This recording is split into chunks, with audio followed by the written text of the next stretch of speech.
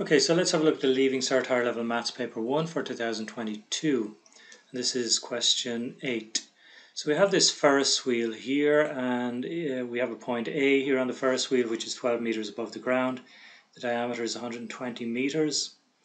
So they give you this information in the question here. A Ferris wheel has diameter 120 meters. When it is turning it completes exactly 10 full rot rotations in one hour. The diagram above shows the Ferris wheel before it starts to turn. At this stage the point A is at its lowest point on the circumference of the wheel and it is at a height of 12 meters above the ground which we can see here. The height h of the point A after the wheel has been turning for t minutes is given by h of t is equal to 72 minus 60 cos pi over 3t. h is in meters, t is real and pi over 3t is in radians. So we're dealing in radians here so just make sure if you're using a calculator make sure it's in radian mode. Complete the table below to find each of those values. One of them has been done for us here. So all we got to do is put 0 in here instead of t, put 1 in, which is done, put 2 in instead of t, and so on, work out each of these. So you can do these on your calculator, uh, no problem. But if you put 0 in here anyway, you get the cos of 0, which is 1. 1 times 60 is 60, so 72 minus 60 is all we got to do first. So let me just put that in here. 72 minus 60, 72 minus 60 is 12. Okay, next one then is 2, so you got 2 pi over 3. So again, these are kind of special angles. They're on page 13 of your maths tables, so you should be able to work them out from there. What you should get when you work this one out is 102. The next one is 132 then you get 102 again. Remember this is a cosine function, so it's going to go it's going to go up and down, up and down. Periodic function. Number 5 here should be bring us back to 42 again. Then we go back down to 12, back up to 42, and up to 102 again. After that, we've just got to plot these on this diagram here. So we're starting with 0, and that was 12, so that's uh, roughly here. 12 should be somewhere around here. Next one is 42, so that should be somewhere around here. 102 is next for 2 minutes, so 102 is here. 132 is next for 3, so that should be here. Then we're going back down to 102 again. 42, uh, 12, 42, and back up to 102 again. So you can see it's one of these periodic type functions.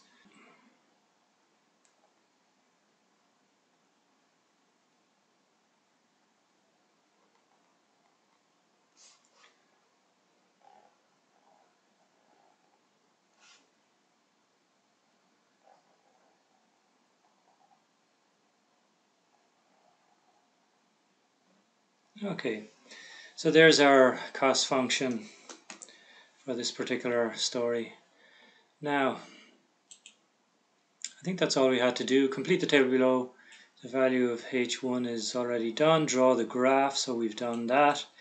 Find the period and the range of the function. Okay, so let's do that. So we can see that our function, our function is uh, given by h of t, and it's equal to 72 minus 60 cosine pi over 3 times t.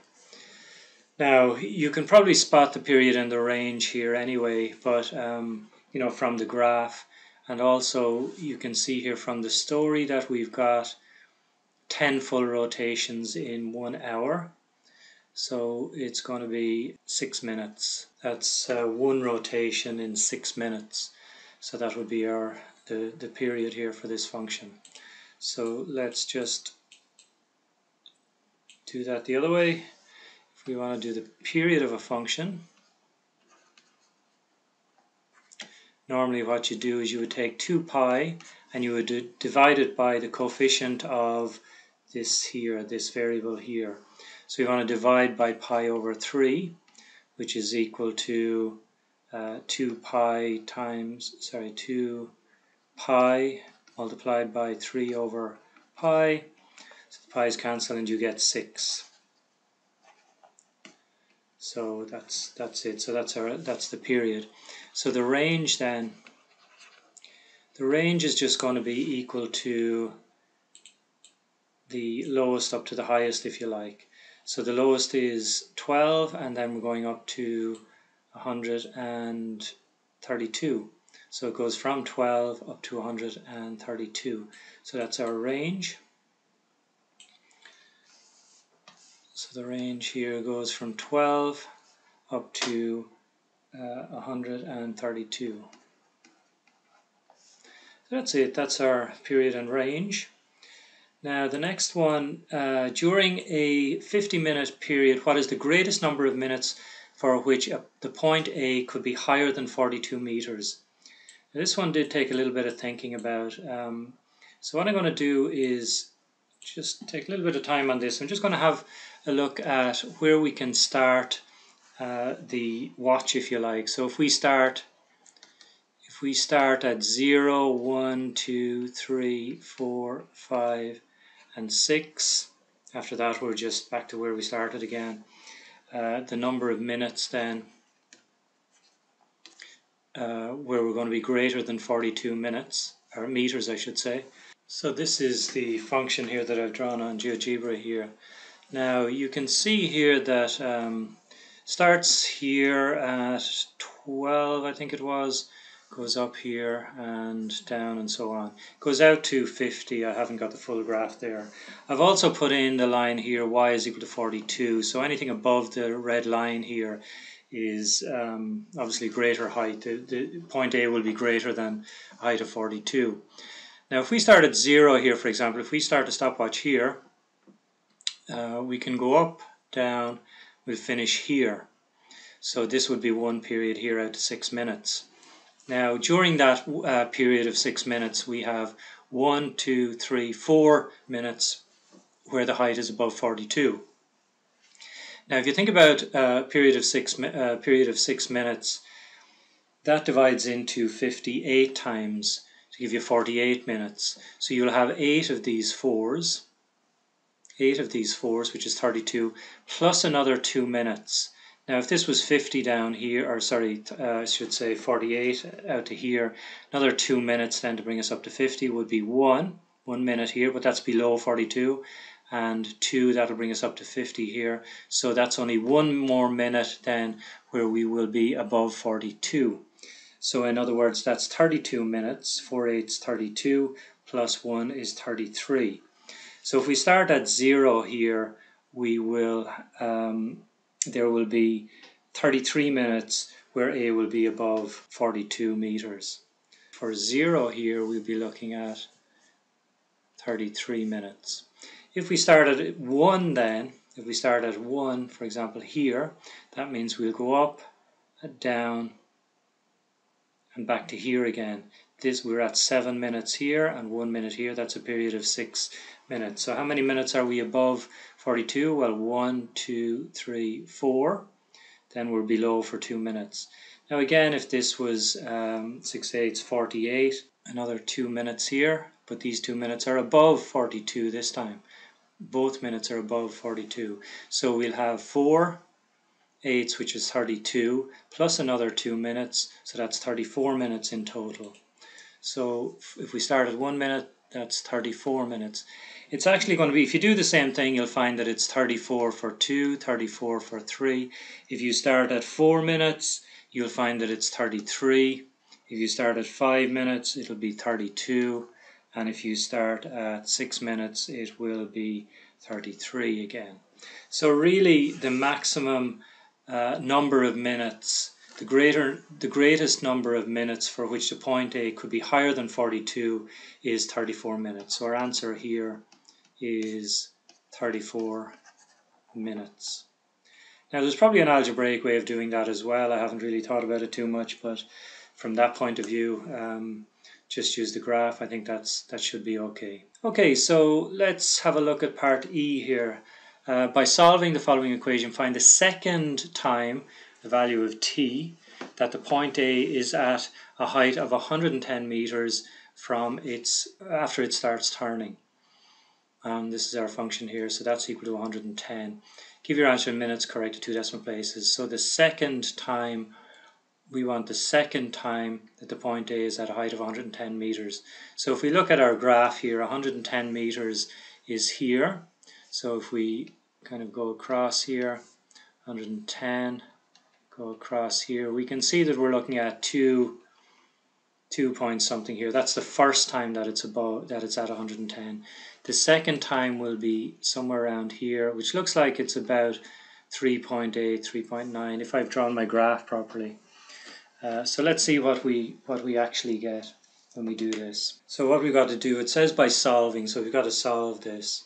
So we have 72 minus 60 cos pi over 3t is equal to 110. Okay, so let's just bring the uh, 72 over. That gives us minus 60 cos pi over 3t is equal to uh, 38. And then all we've got to do is divide by 60.